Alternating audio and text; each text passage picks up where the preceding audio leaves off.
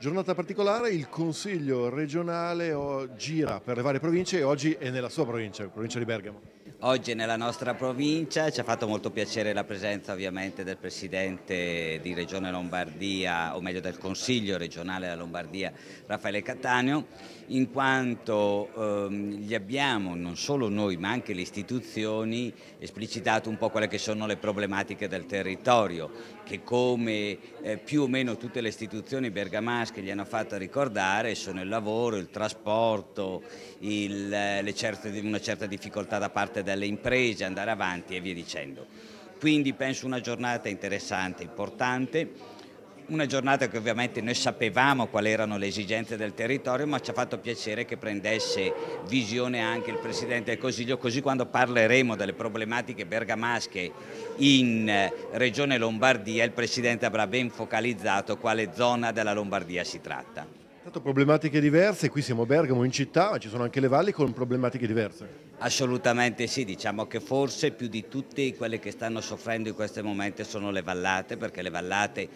soprattutto alcune vallate bergamasche, avevano la loro attività soprattutto nel tessile, il che ha avuto una crisi eh, notevole e come ho avuto modo di ricordare al um, Presidente, alcune eccezioni che oggi, e eccellenze che oggi potrebbero eh, produrre lavoro sono bloccate dalla mancanza di credito da parte degli istituti bancari. Questo è un problema molto grave, non so se Regione Lombardia riuscirà a risolverlo, però come ha fatto quel bellissimo eh,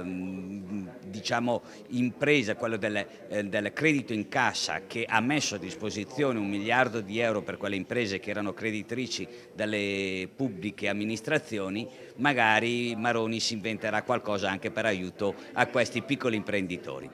Oggi si è parlato anche della difficoltà dei trasporti, eh, l'asse Bergamo-Milano, soprattutto per quanto riguarda la ferrovia, non è così ben servita. Allora,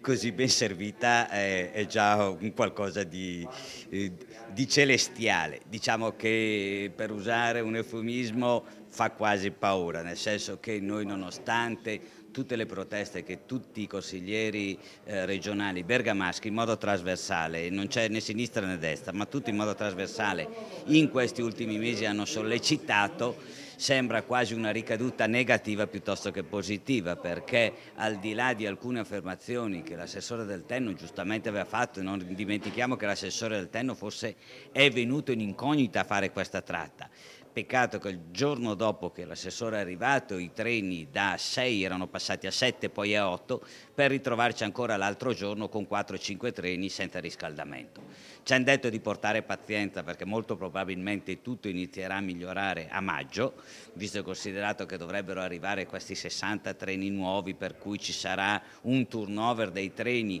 e speriamo che ce ne mettano qualcuno dei nuovi, di sicuro la pressione noi consiglieri bergamaschi, Regione Lombardia la faremo e la faremo forte perché è una tratta disastrata.